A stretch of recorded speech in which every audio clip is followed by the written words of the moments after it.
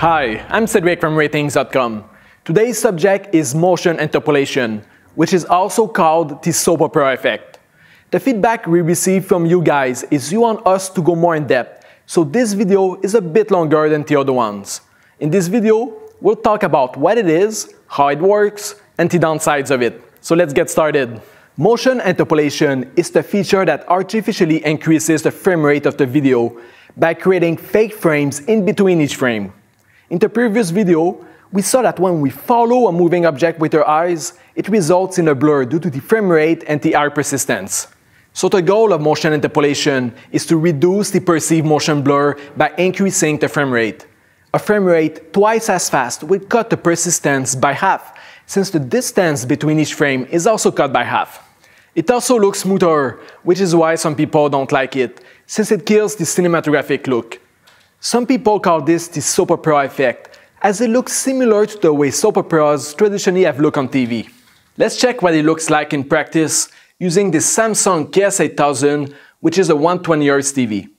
Currently, it is receiving a 60 frames per second video, and if I turn on the motion interpolation feature, it will convert that 60 frames per second video into 120 internally.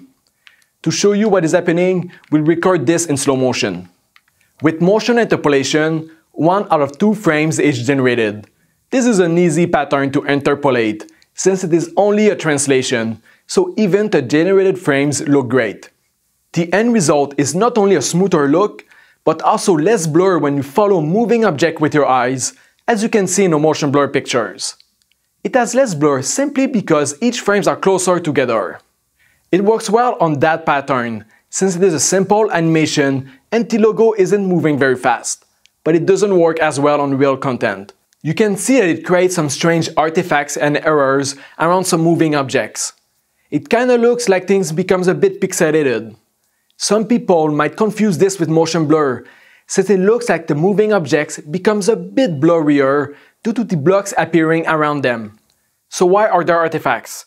It all comes down to how the TV interpolates. The TV doesn't have time to do anything fancy, since it needs to do it in real time. I'm going to explain a simplified version of the algorithm that the TV uses. So let's take two frames, the first frame and the end frame, and the TV wants to create a frame in the middle. Since it needs to do it in real time, it's going to simplify a little bit the problem, and it's going to split each frames in two blocks. After creating the blocks, it's going to try to figure out where each block moves. For example, in this case, this group of blocks moves to here. So it's going to do that for every block. Some blocks are not going to move. For example, this one stays here. After it's done for everything, then it can generate the final frame in the middle. So for the middle frame, it's going to put each blocks in the middle of the translation path. So in this group of blocks, the middle is here. So it goes down two blocks, to the right three blocks. So in the middle frame, it's down one block and to the right 1.5 block. So it does that for all the blocks and then it can generate the final picture. This works very well for translation. For example, in a panning shot. Panning shot it's easy since a big part of the screen that moves slowly. So it's easy to find blocks and match them. But anything more complex, like a rotation or even an explosion, then that's going to be hard to do by the TV. For example, in a rotation. Rotation, the center is easy to do since it almost looks like a translation. But the edges are harder since it's new information that comes up. The TV is going to try to match it. It's going to try to copy paste blocks from around the screen that look similar to the edges. But it's not going to look pretty, so it's going to look like the artifacts that we saw earlier. Let's take a more difficult example, like a car explosion. In a car explosion, the first frame is a car, and the second frame, a big explosion. So in that case, it's really hard for the TV to know what's between the two frames. So it has two options. In the first option, it's going to try to guess. So it's going to try to find blocks that are somewhat similar and copy-paste them. But that's going to create a lot of artifacts. The second option is a lot safer. It's not going to try to do anything. It's simply going to repeat the first frame a second time. So in that case, it will create a little bit of jitter on the screen, since that frame is going to appear on the screen a little bit longer and then it's going to be smooth again. The hard part of that algorithm is all about creating the motion vectors. That process is similar to encoding in a codec like H.264. In H.264, there are keyframes once in a while and then the blocks move in between each frames. But the H.264 codec doesn't have the constraint of doing it in real time, so the end result is a lot better.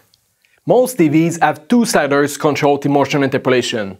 They both interpolate up to 120 Hz, but they affect different content. Blur reduction affects 60 frames per second content, and judder reduction 30 and less. Currently, there's a 30 frames per second video playing on the TV, and if I turn on blur reduction, you will see it has no impact at all on the picture. For this video, it is judder reduction that has an impact. So if I turn it on, you will see that it is smoother. Now with the 60 frames per second video, you can see that the picture is not interpolated at all, even with judder reduction on.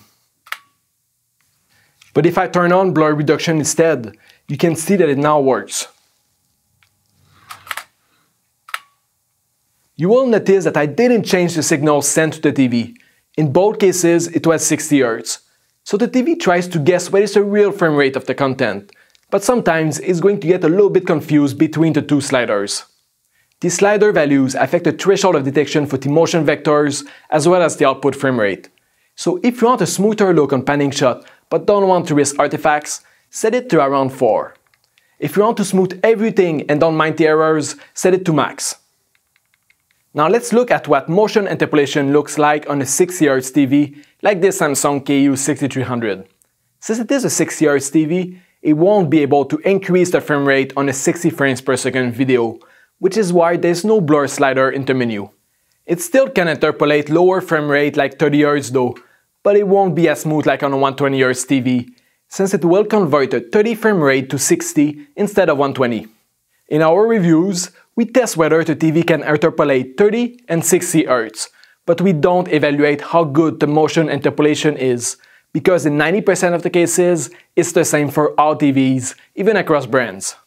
Another downside of the interpolation feature is the input lag. Since that feature is not available in game mode, it always comes with a higher input lag. For example, on the Samsung Q7F, it's currently in game mode, so the input lag is good, but if I go out of game mode, the input lag is high, which is not really playable unless you really want the effect. So in conclusion, motion interpolation increases artificially the frame rate of the video, which is great to increase the smoothness of the movements and to reduce the appearance of motion blur, but it comes with three downsides. First, purists say that it kills the cinematographic look because movements look too real.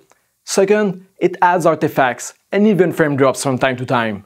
And third, it increases input lag, which is bad for gaming. So that's it. If you like this video, subscribe to our channel and see you next time.